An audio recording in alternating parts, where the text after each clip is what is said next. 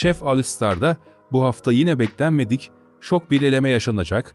Bunun haricinde Dilara ve Cemre yine birbirine girecek. Bu hafta Hasan'ın mavi takım kaptanı olması ile birlikte Tahsin, Sergen, Tolga, Dilara ve Batuhan mavi takımı oluşturdu.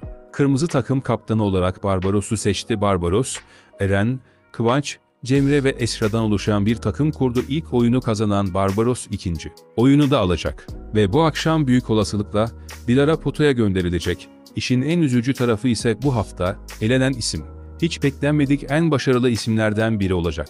Burcu, Büşra, Metin ve Ayaz'ın dörde kalması beklenirken eğlenerek hepimizi şok etmişti şimdi ise Tolga potadan maalesef çıkamayacak. Bu haftanın elenen yarışmacısı olacak. Son günlerde Dilara'nın uyumsuzluğu, egosu, yarışmacı arkadaşlarını da neredeyse bıktırdı.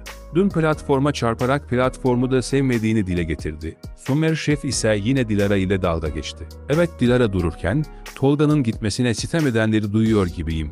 Buyurun yorumlara, gelişmeler için takipte kalın abone olmayı unutmayın.